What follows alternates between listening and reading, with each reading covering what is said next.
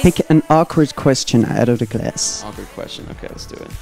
What's the most awkward situation you came across on tour? A lot of times people will like ask me for my hat to, to keep it. Like a fan will ask for my hat, and I don't want to like disappoint them.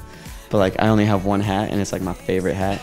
And so I'm always like, yeah, yeah, I'll give it to you after the show. But then like I never end up giving it to them. So I'm sorry.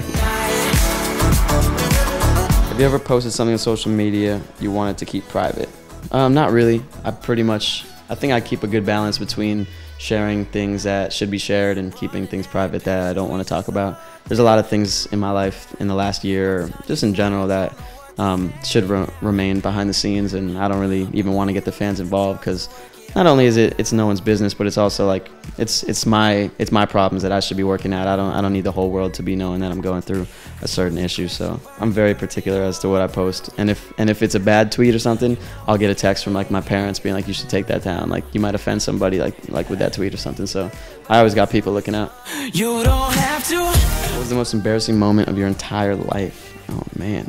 I don't get too embarrassed. I mean, there was there was this one time in like elementary school. I was like in fourth grade, very young, and we were at PE at recess, and we were playing like a capture the flag, and um, I had these pants that buttoned all the way down, and I had the flags on, and you're supposed to try to pull people's flags, and someone tried to pull my flag, and they unbuttoned my pants, and they pulled my pants right off, and I was just standing there butt naked in front of like you know all my my class.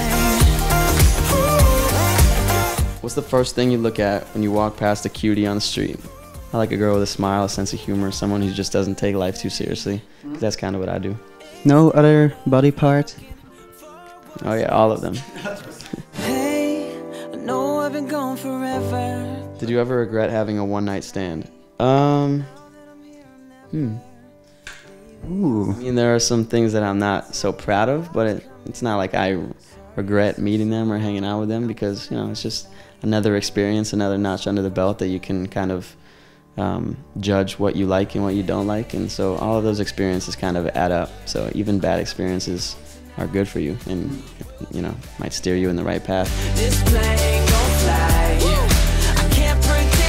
Thank you so much, to be honest, and have a great evening. Enjoy, enjoy Belgium and Antwerp and the rest of Europe. Thank you.